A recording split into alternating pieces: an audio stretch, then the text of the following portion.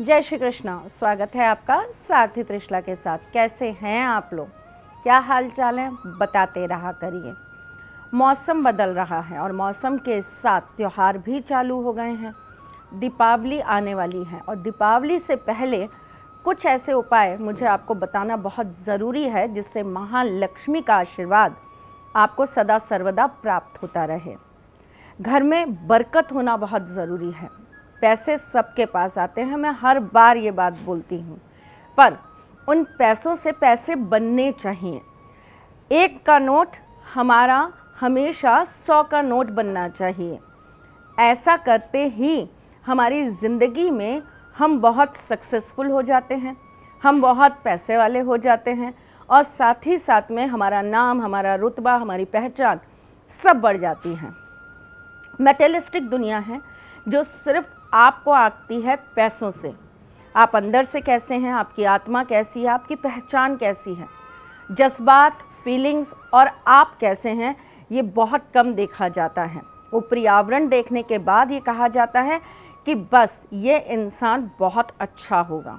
आपके पास पैसा है, आप दान पुण्य कर रहे हैं तो फिर आप बहुत महान आदमी हैं। लेकिन जिसके पास अपने घर को, परिवार को चलाने के लिए पैसा ही नहीं है जो कर्ज़ों को अदा करता रहता है, जिसकी तनख्वाह आने से पहले उड़ जाती है, जिसके ऊपर जिम्मेदारियों का बोझ बहुत ज़्यादा है। उस इंसान की महानता कैसे देखी जाएगी? सोचने वाली बात है, सोचिएगा ज़रूर। पैसा किसके पास नहीं रुकता? पैसा किस इंसान के पास ठहर नहीं पाता? एक बहुत छोटी सी बात, लेकिन ध्यानपूर्वक सुनिएगा, समझिएगा और इसको एक्सपेरिमेंट करके देखिएगा। जो बहुत जल्दी जल्दी पैसा मांगते हैं, होता है ना, हम कई बार ऐसे कहते हैं, अरे यार, बहुत लेट हो रहा है, जल्दी जल्दी से पैसा दे दो। अरे, मुझे ये सामान लाना है लो जल्दी जल्दी पैसे दो।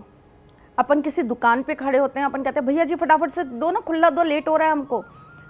टैक्सी से, ऑटो से, कहीं से भी उतरे, भैया, जल्दी से चेंज दो, बहुत लेट हो रहा है। जल्दी जल्दी पैसे मांगना पैसे की बरकत को ख़त्म कर देता है। कोई उपाय नहीं, कोई ज्योतिष नहीं, लेकिन बहुत बड़ा सिद्धांत है ये। जल्दी जल्दी पैसा। दिहाड़ी लोग मांगते हैं। जल्दी जल्दी पैसा। भिकारी माँगता है। पीछे पड़ के पैसा। केवल वही लोग मांगते हैं जिनके पास पैसे नहीं होते हैं। आप जितने भी अच्छे लोग हैं, पैसे वाले लोग हैं, उन्हें देखिएगा वो थोड़ा सा सब्र करते हैं। अच्छा ठीक है। कोई बात नहीं, दे दीजिए। पैसे के लिए जितनी ज़्यादा आप हड़बड़ी मचाएँगे, जितना जल्दी जल्दी आप पैसे के लिए बोलेंगे, उतना ज़्यादा पैसा आपके पास देरी से आएगा और जल्दी जाएगा, टिक नहीं पाएगा। दूसरी बहुत बड़ी चीज़, पैसे को लेते समय और देते समय एक बात का विशेष ध्यान रखिए। हम अक्सर ये छोटी छोटी चीज़ों को छोड़ देते हैं और बड़े बड़े उपाय करने लगते हैं और सोचते हैं कि रातों रात करोड़पति बन जाएँगे। यही छोटी छोटी चीज़ें हाथ में बरकत देती हैं। यही छोटी छोटी चीज़ें कुंडली के अंदर महालक्ष्मी योग का निर्माण करती हैं। कभी भी किसी को उल्टे हाथ से पैसे मत दीजिए।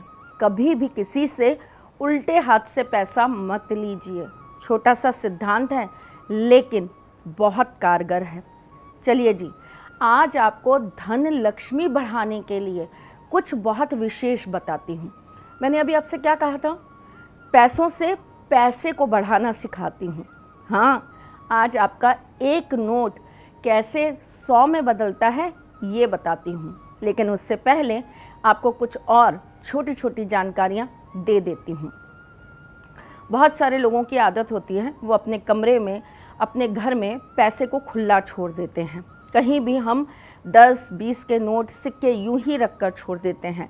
ये कार्य कभी मत करिए, इससे आपके ऊपर कर्जे बढ़ने लगते हैं और धन स्रोत के आपके रास्ते बंद हो जाते हैं। अपने घर के मुख्य द्वार को हमेशा स्वच्छ रखिए, सुंदर बना के रखिए तो आपके घर में महालक्ष्मी का वास हमेशा रहेगा। महालक्ष्मी को तीन चीज़ें विशेष प्रिय हैं, लघु नारियल पीली कौड़ी और कमलगट्टा चाहे आप ये दो दो ही रखिए, लेकिन अपने मंदिर में इन्हें लाल कपड़े में बाँध कर ज़रूर रखिए। सिद्ध करते हैं, नहीं करते हैं, उससे कोई फ़र्क नहीं पड़ता। रखिए ज़रूर और नियमित रूप से धूप बत्ती ज़रूर दिखाइए। चलिए, आज आपको नोट से नोट बनाना सिखाती हूँ। नकली नोट बनाना नहीं सिखा रही हूँ भाई। अवैध काम कभी नहीं, और वो भी सारथी परिवार में। गलत बात। आपको आज एक छोटा सा उपाय बता रही हूँ। एक दस का नोट ले लीजिए। उस नोट की दस जेरोक्स करा लीजिए। दस फ़ोटो कॉपी करा लीजिए। सबको एक साथ में एक के ऊपर एक चिपका दीजिए। जो आपका ओरिजिनल नोट है, उसे आप अपनी अलमारी में, तिजोरी में बिल्कुल सामने चिपका दीजिए। उसके ऊपर हल्दी, कुमकुम और भस्म। भस्म किसकी होगी? गूगल की, लोबान की नहीं हो तो आप जो अगरबत्ती या धूप जलाते हैं, उसकी भस्म भी चलेगी। और साथ में, इसमें आप कौड़ी को कूट कर उसे मिक्स कर लेंगे। इससे आप उस नोट के ऊपर एक स्वास्तिक बनाएँगे। ये कार्य कब करेंगे? आप करेंगे शुक्रवार के दिन या पूर्णिमा के दिन। शाम के वक्त ये काम करेंगे, पाँच बजे से लेकर साढ़े छः के बीच में और उसके बाद ये जो आपने दस नोट ज़ेरॉक्स कराए हैं ना, ये उसके नीचे रख देंगे। हर शुक्रवार को ये जो गड्डी है ना, जो आपने ज़ेरॉक्स करा के रखी है, इसे बाहर निकालिए, इसे अच्छी से हल्दी का छीटा दीजिए, रोली टीका लगाइए, महालक्ष्मी को याद करिए और ऐसा बोलिए कि माँ, ये दस गुना पैसा सौ गुना हो जाए। ये दस गुना लक्ष्मी मेरे घर में सौ गुना हो जाए। करके देखिए, बहुत असरदार, बहुत ज़बरदस्त उपाय है। आपकी ज़िंदगी में परिवर्तन ज़रूर लाएगा। अगर कोई मुझसे ये सवाल करेगा कि क्या आपने किया है? हाँ मैंने किया है।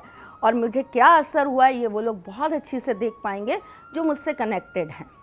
चलिए जी, आज का दूसरा सरल सा उपाय। मैं बहुत देर से हाथ में कुछ लेकर खड़ी हूँ ना, बताती हूँ क्या है। ये एक पिरामिड बनाया मैंने, त्रिकोण बनाया है मैंने, नोट से, दस का नोट है, उसका मैंने एक त्रिकोण बनाया है। इस त्रिकोण को एक लाल कपड़े में आपको रख लेना है। सेम ये काम आपको कब करना है? शुक्रवार के दिन। किस टाइम करेंगे? 12 बजे से साढ़े बारह के बीच में। पाँच गोमती चक्र, पाँच पीली कौड़ी, एक काली कौड़ी, दो लघु नारियल और कुछ गुंजा। लाल या काली गुंजा आप डाल सकते हैं। उसके बाद में महालक्ष्मी को आप स्मरण करेंगे, उनके मंत्रों का जाप करेंगे। अगर कर सकते हैं तो कनक धारा स्त्रोत्र का पाठ करिए। अच्छे से गांठ बाँध दीजिए, पोटली बन जाएगी, उसे धूप बत्ती दिखाइए और अपने घर के नॉर्थ में उसे किसी चीज़ से दबा कर रख दीजिए। आप जिस भी चीज़ से दबाएँगे, वो चीज़ अंदर से खोखली होनी चाहिए। मतलब आप कोई डिब्बा ले लीजिए, जिसे आप उसके ऊपर रख कर रख देंगे तो वो दब जाएगा, बंद हो जाएगा, और आपके घर से बिल्कुल भी बरकत रुकेगी नहीं, बिल्कुल भी बरकत कम नहीं होगी। आपके घर में हमेशा सदा सर्वदा माँ लक्ष्मी का वास रहेगा। मैं ये नहीं कह रही कि हम माँ लक्ष्मी को कैद कर लेंगे, मैं सिर्फ़ इतना कह रही हूँ कि ये उपाय करने से हमेशा आपके पास माँ लक्ष्मी का आशीर्वाद बना रहेगा। स्फटिक की माला, माँ लक्ष्मी को अत्यंत प्रिय है तो आप स्फटिक की माला पर माँ लक्ष्मी का जाप ज़रूर करें।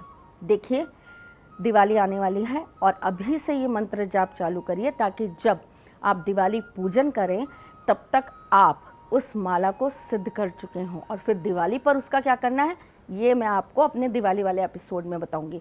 आज के लिए बस इतना ही। फिर आऊँगी कुछ नया, कुछ अलग, कुछ अद्भुत लेकर। तब तक के लिए मुस्कुराते रहिएगा, रिश्तों में मजबूती बना के रखिएगा, अपने सारथी के साथ में जुड़े रहिएगा, प्यार देते रहिएगा, प्यार लेते रहिएगा, ख्याल रखिएगा अपना और उनका, जिनसे आप प्यार करते हैं। मैं जल्द आपसे मिलने आऊँगी, तब तक के लिए जय श्री कृष्ण। सारथी माँ त्रिशला ज्योतिष के क्षेत्र में विश्व विख्यात नाम है। ज्योतिष शास्त्र में पीएचडी माँ त्रिशला पिछले 22 वर्षों से ज्योतिष की सभी परंपरागत विधाओं के साथ साथ अनेक दुर्लभ गुण विधाओं, जैसे परछाई एवं नव्स के अध्ययन से अपनी सटीक भविष्यवाणी और पूर्वानुमान के लिए विख्यात हैं। अपने उपायों द्वारा लाखों लोगों का जीवन संवार चुकी माँ त्रिशला लगातार 2016 से ज्योतिष विभूषण अवार्ड प्राप्त कर रही हैं।